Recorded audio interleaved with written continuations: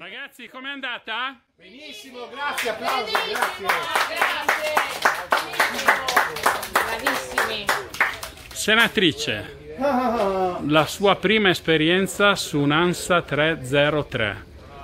È stato, L'abbiamo ripresa, eh? attenzione perché abbiamo visto anche che aveva il timone in mano.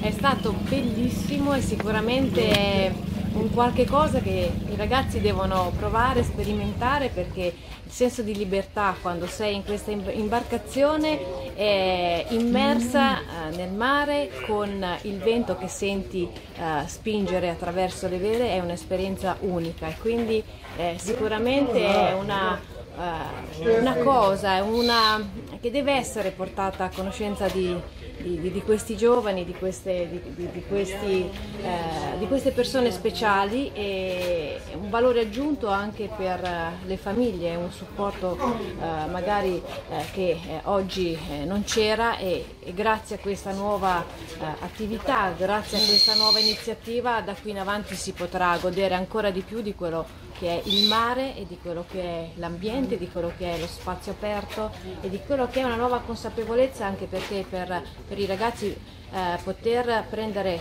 coscienza di, di quello che è il governare un'imbarcazione è un'autodeterminazione che forse eh, non era così scontata.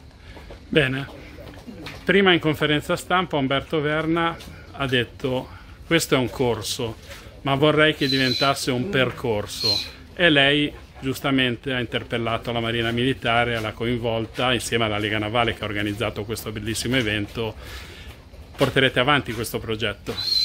Direi di sì, quello che è stato l'incontro di un anno fa che ha dato poi eh, l'inizio a quello che è oggi questa prima uscita in mare, ha trovato comunque una, una mia richiesta, ma ha trovato un terreno fertile. Sicuramente ci sarà un terreno fertile anche per portare avanti questo percorso di cui lei faceva cenno, magari realizzando proprio un protocollo da poter essere esportato a tutte le altre re- realtà della Lega Navale a livello nazionale. Quindi eh, la Spezia potrebbe essere proprio quel punto di partenza per far ripetere questa, questa esperienza con i risultati che saranno anche spe- sperimentati attraverso questa nuova attività ed essere quel punto di partenza per sviluppare maggiormente questa nuova iniziativa.